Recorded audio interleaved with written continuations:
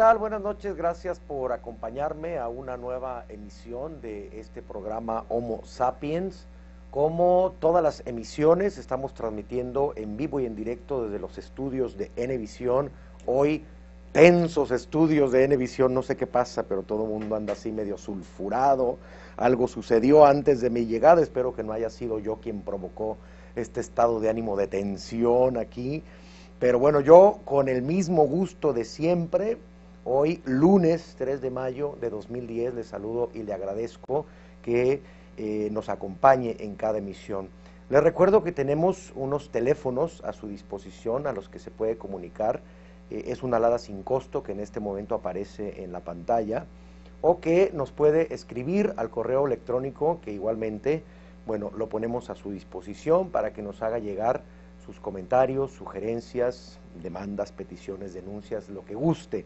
Y que le reitero la invitación que les hice también en la emisión pasada el viernes, si quiere ser parte del público y vivir la experiencia de este maravilloso programa de televisión, comuníquese, nos ponemos de acuerdo, agendamos y lo invitamos a que sea parte del programa, que nos acompañe aquí en el estudio, ya lo decía, eh, no es un estudio muy grande, pero 10 gentes cómodamente caben, 15 ya un poco apretaditos, 30 uno sobre otro y ya dije si son 100, aprovechamos y hacemos una sesión de fotografía de Tunic, ese que acostumbra, bueno, desnudar a la gente y fotografiar aquí, bueno, le ofrecemos el estudio para hacer algún experimento.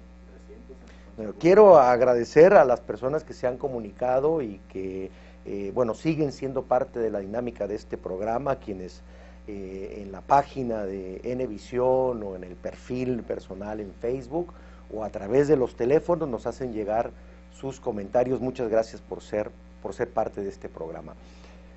Bueno, hoy empiezo con, con, noticias que se dieron el fin de semana.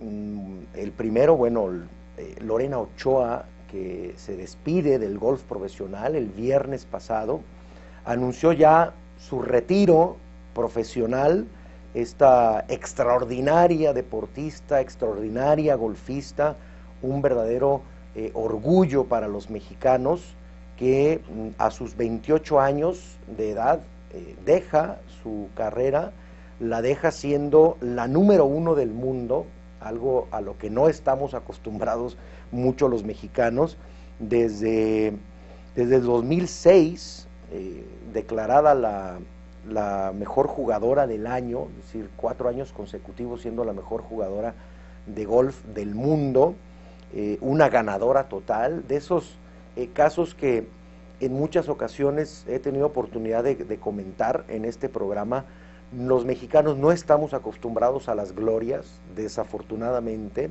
somos un país que no figura en primeros lugares en muchas cosas.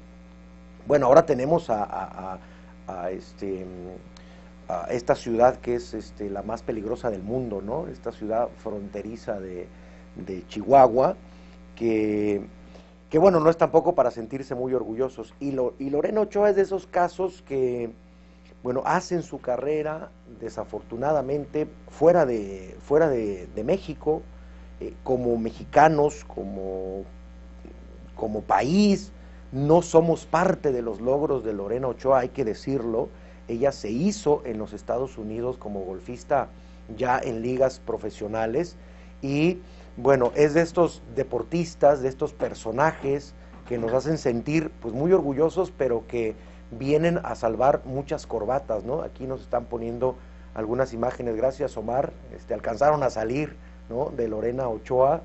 Yo eh, tuve la oportunidad de conocerla hace algunos años en un evento en Guanajuato, eh, déjeme decirle, muy fresa la niña, ¿eh? muy fresa, eh, pero mm, accesible, nos sentamos en la misma mesa, compartimos ahí una cena en un evento que organizaba la Secretaría de Turismo, y bueno, eh, es de estos casos, insisto, de, de personas que se van forjando conforme a los accidentes de la vida. ¿no? no es producto de la estructura deportiva de México, que es una estructura deportiva muy mediocre. Más allá de fútbol, creo que no hay estructura para otro deporte, si acaso el taekwondo, si acaso el box, pero igual son glorias como que se van forjando muy al margen de la dinámica de un país que planea su desarrollo y que va planeando estas estrategias ganadoras, triunfadoras, ¿no? De estas personas con mentalidad. Eh, Lorena Ochoa empezó a jugar golf a los cinco años de edad, muy pequeña. También hay que decirlo, no es de esas historias de, gran esfuerzo, ¿no? De la niña que creció en una familia pobre y se fue abriendo camino, no, no. Lorena Ochoa viene de una familia eh, muy acomodada. Jugar golf no es un deporte nada barato, nada accesible, ni los instrumentos, ni el estar, bueno, pagando un acceso al campo de golf, etcétera, rentar un CAD y todo eso. Yo he tenido la oportunidad de jugar golf y se los digo, no es un deporte nada barato pero el hecho, bueno, de que venga de una familia acomodada no le quita los méritos de ser una gran deportista que a los siete años ganó un campeonato nacional eh, y luego ganó a los ocho años, que fue nombrada la mejor junior posicionada en México, ganó a esa edad, a los ocho años, un campeonato mundial en San Diego, California, y después, durante cinco años consecutivos, lo estuvo ganando. Es decir, una deportista extraordinaria, ganó la Copa de Japón en 1990 y bueno, después cuando llega a la LPGA, que es la, Ladies Professional Golf Association, la liga profesional de golfistas de, mujeres, bueno, se convierte en la más ganadora, ganó 27 torneos, de, de los cuales dos fueron majors, ganó, bueno, todo el dinero del mundo que se puede ganar en el golf, con sus patrocinadores, con sus triunfos. Eh, una mujer que nos acostumbró durante cuatro años a eh, estar viendo a México en los primeros lugares y que anunció ya su retiro a los 28 años. Bueno, aquí están este, eh, el equipo de producción muy contento, ya distensándose, no sé por qué. Bueno, se retira, fíjense que se casó se casó Lorena Ochoa y bueno, deja los palos, pero creo que ahora se va a dedicar a otro tipo de palos, ¿no? Está recién casada, feliz la mujer, ¿no? Anuncia que se va a dedicar a su marido, este, por ahí se especula que está embarazada, si es así, qué bueno, felicidades, ¿no?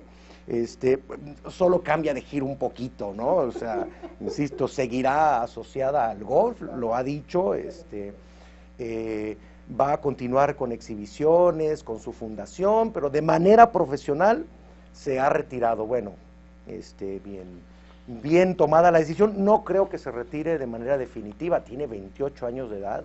Si lo hace así, no veremos a Lorena Ochoa en el Salón de la Fama, porque tendrían que transcurrir 10 años como activa profesionalmente para poder entrar al Salón de la Fama eh, yo creo que va a regresar, está muy joven para regresar. Ya cuando descubra lo que es el matrimonio en realidad, estará anunciando nuevamente cambio de palos este, por, los que sí dejan dinero. Eh, y, yo creo que vamos a volver a ver a Lorena Ochoa. Pero bueno, la mujer está enamorada y ha decidido hacer a un lado los millones de dólares que le da el, el golf para, para dedicarse a su nueva misión en la vida, que es ser esposa. Bueno, y hablando de amores, para no darle mucho giro, hablando de amores, este, eh, ayer hizo una declaración el padre de Michael Jackson, ¿no? Joey Jackson, que dijo, mi hijo no era gay, ¿no? Eh, tampoco aclaró qué era, porque digo, después este, de verle eh, su figura, este, yo creo que la voz que tenía, que parecía así anuncio de, de vino, ¿no? brandy, fulano, Michael Jackson este, tenía voz de niña, ¿no? Quería parecerse a Liz Taylor, a Diana Rose, pero dice el papá que no era gay, asegura que no era gay porque acababan de sacar unas declaraciones el médico de Michael Jackson donde afirmaba que tenía una relación por ahí con un personaje muy allegado a, la familia, ¿no? Y bueno, resulta que según el papá de Michael Jackson, su hijo no era gay, esto va a provocar, yo creo que, que, el papá de Ricky Martin salga también diciendo que Ricky Martin no era gay, que estaba bromeando nada más. El papá de Fabiruchis va a salir diciendo también que él no era gay. Francis, ¿no? El papá de Francis también van a, van a terminar haciendo una manifestación todos ellos. Bueno, Michael Jackson parecía todo menos hombre, ¿no? Este, este, bueno, por aquí eh, está muy alterado el, tema en, el set.